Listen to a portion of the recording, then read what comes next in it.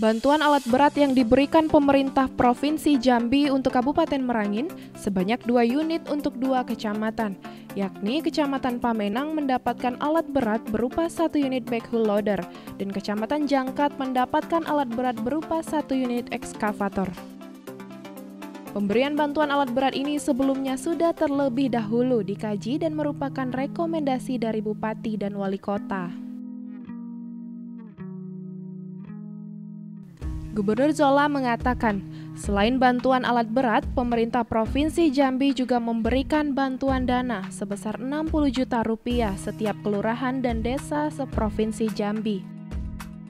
40 juta rupiah digunakan untuk pembangunan infrastruktur dan 20 juta digunakan untuk penguatan kelembagaan.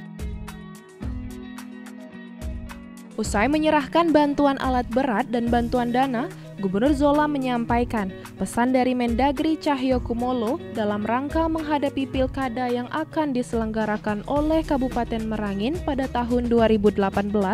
Zola meminta kepada seluruh masyarakat Merangin agar tetap kondusif, jangan sampai ada gesekan yang bisa menimbulkan konflik dari kader partai yang mendukung mengusung itu sangat penting sekali saya berpesan untuk sama-sama kita jaga kondisi kondisi ini tetap kondusif, ya aman, damai, dan siapa pun nanti yang terpilih menjadi bupati wali kota itu adalah pilihan rakyat yang artinya kemenangan rakyat baik itu Kabupaten Merangin, Kerinci maupun juga Kota Jambi. Pak, sebagai ketua DPD PAN uh, antara program dari provinsi, kabupaten, kota penting sekali, penting sekali. Di mana anggarannya ini kan terbatas setiap kabupaten kota pasti terbatas.